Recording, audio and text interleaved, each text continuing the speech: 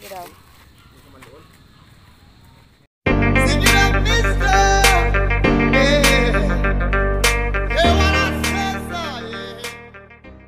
Hello mga ka-spinners at welcome to my channel. I'm Kuya Paul and this is my morning spin. So bago pa lang sa channel at hindi ka pa nakaka-subscribe, just simply hit the subscribe button at sama notification bell para ma-update ka ng new videos gaya nito. So by the way, gumagawa ako ng mga cycling related videos gaya ng DIY tutorial, bike hacks, unboxing, back ride at saka cycling adventure at marami pang iba. So kung trip mo yung channel na to, just consider subscribing to the channel at hit mo na rin yung notification bell para ma-update ka sa iba pang videos na i-upload ko. So by the way, for this episode is magpapalit tayo ng mga piyesa sa ating bike. So first is itong chainring. So ito yung luma kong chainring. Papalitan ko yung bagong chainring na gamit ko which is yung Ragusa na 34 teeth dito sa 36. So ang gamit kong bike is Mountain Peak Everest. Naka 29er. So ideal sana sa kanya yung 34 pero hindi siya ideal para sa akin. Kaya magpapalit ako ng 36 teeth na chainring. At dahil nawala yung isang bolt ng aking chainring so bumili ako yan light pro na kulay red so anim siya may ano pa to ay lima pala so meron siyang libreng isa tapos magpapalit din ako ng seat clamp which is itong sagmi so yung seat clamp na gamit ko dito is medyo na lost thread yung kanyang allen. Kaya pag-iisipan ko pa kung allen na ba yung papalit ko yung buong ito yung buong seat clamp kasi mas magaan tong seat clamp nito kumpara dito sa nabili ko na Sagmi which is 125 at saka yung bili ko dito is about 245 pesos tapos ito nakalimutan ko na kasi ito yung luma kong chainring na gamit ko noon. Which is dito ako mas hiyang compared dun sa 3040 na parang nakukulangan ako sa patag. However advantage ng 1340 is madali siyang iahon pero parang mas gusto ko yung feel nitong 36 teeth sa aking 29er kasi. So ito yung sinasabi ko guys yung Ragusa. Yan so naka 34 teeth so by the way yung crankset na gamit ko is yung Alibio so Alibio na 2x so usually sa Alibio is naka ano yan sila naka 96 BCD pero sa Alibio na to yan, nasa 104 BCD. So, ewan ko po kung applicable lang ba yan sa 2x or meron silang specific na ano dito na batch na ginawan lang 104 kasi usually 96 BCD yan pag sinabi nating alibio so yun papalitan natin to tapos ito ring seat clamp. So yun nga mas magaan tong seat clamp na to. Kaya nagdadalawang isip ako kung ito lang bang allen yung papalitan ko or yung buong seat clamp na. So meron pa isa. Yan, ito yung sinasabi kong nawala yung ano boat. Ewan ko kung bakit to natangta na ewan ko kung bakit to na naglag. Pero yun, bumili tayo ng replacement kaya papalitan natin yan. Let's go. So yun guys, tatanggalin muna natin tong ating seat clamp. So ang gamit ko is 4mm na Allen key dito sa Allen bolt natin. So yun nga, na-lost thread siya. So subukan natin kung mahugot ba natin siya. Yun guys, parang nabilog na siya guys. So gagamitin natin tong mahabang part tapos kasi wala tayong leverage dito gagamitin ko yung ano niya yung lalagyanan ng allens so pasok natin siya dito sa number 4 para meron tayong leverage para ma-forsa tayo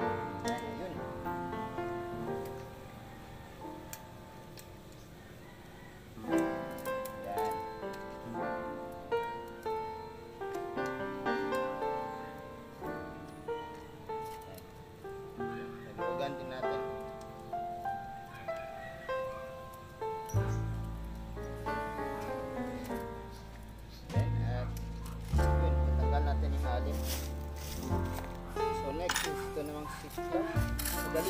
Kasi meron tayong rubber stopper. So purpose ng rubber stopper is para hindi pasukan ng dumi yung ating seat post at itong uh, seat tube. Kasi ito kasi yung minsan na nagkakaroon ng issue is masyadong matigas na tatanggalin kasi nga napapasukan siya ng buhangin. So, ko itong rubber stopper na papasukan ng buhangin yung loob ng ating seat tube. Alright.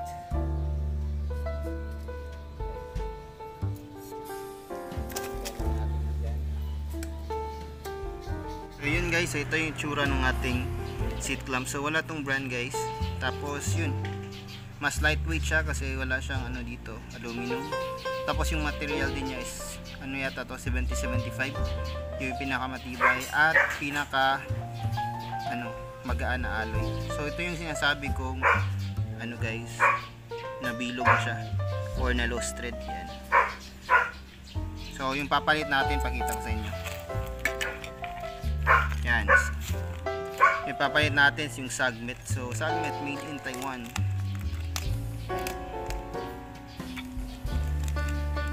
Saan man natin siya. So. Ay, parang mas magaan siya kumpara dito sa isang. Ah, hindi. Mas magaan to kahit mas malaki to guys. Mas magaan to kumpara dito. Pero try muna natin itong ipasok ko. Laki to kumpara dito pero parang ito na yata yung gagamitin ko guys. So ito yung itsura guys pag meron mga rubber stopper. So yan. Hindi yan papasukan ng mga ano guys, buhangin. Yan. Yan yung advantage ng mga rubber stopper. So yun, pasok na natin yung ating seat post. Yan, pasok natin yung seat post. So advantage din itong rubber stopper is pag nilagay mo siya guys. Yan. Pusa niya magsa-stop doon sa area kung nasaan yung rubber stopper. Yan. So double check natin. Yan. So tama lang yung sukat. Tapos, sentro natin guys.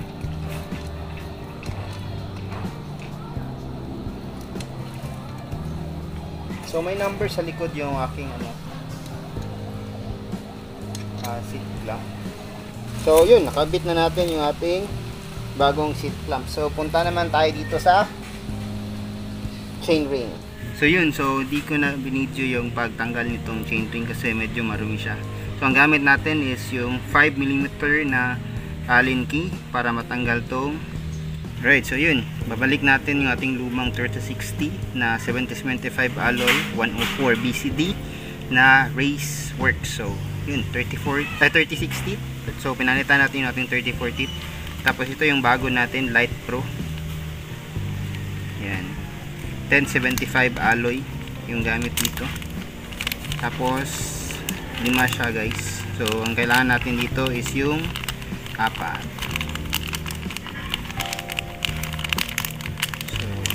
Pula kasi wala nang available pero sulit naman kasi yun yung combination ng bike ko. Red, blue, and black gray.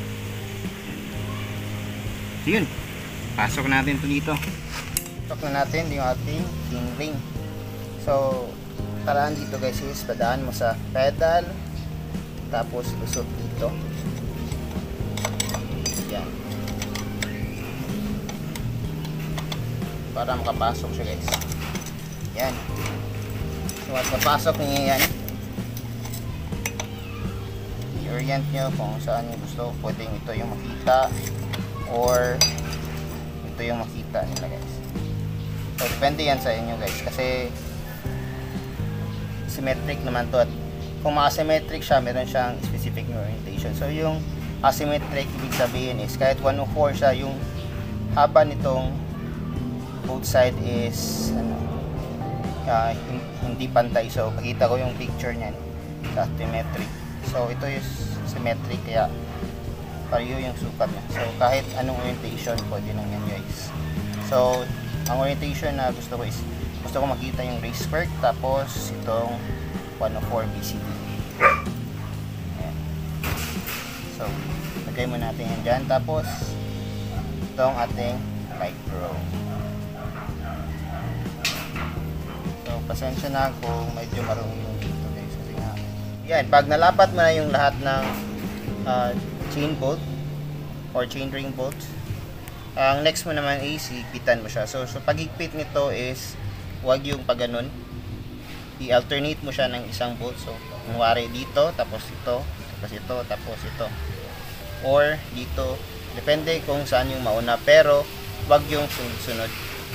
Kasi ang mangyayari dyan is higpit tong part na to, higpit yung part na to, higpit to, tapos dito hindi mo to mahigpit ng todo. Kasi nga, para siyang, uh, ano, mag-uusli. Tapos yun, pag sinagad mo yun, maglo-lost thread yun. So, dapat mong gawin is, dito muna, dito sa kabila, dito, tapos dito, or, ini-take mo, similar, basta hindi yung sunod-sunod. So, pakita ko guys.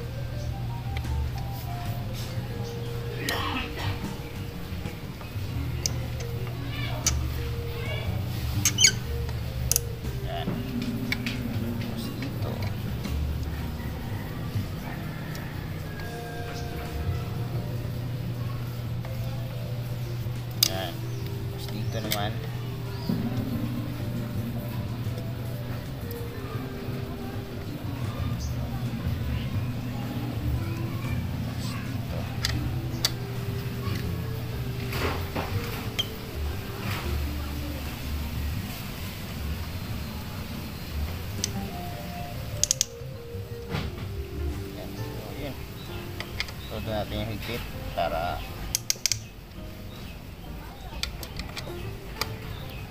final na higpit na to guys.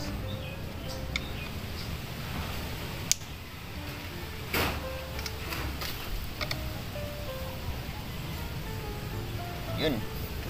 Yun. Nahigpit na natin yung chain ring tapos yan, matibay na yan. So, balik natin yung kadena.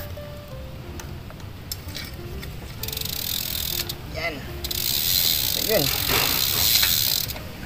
Nakapasok na rin yung ating bagong chain ring. So, that's all for today mga ka-spinners. And I hope that you like this video. So, kung nagustuhan nyo yung channel to or ganitong klaseng content, please do sub- consider subscribing to this channel at hit nyo rin yung notification bell para ma-update ka sa mga new videos na gagawin ko pa.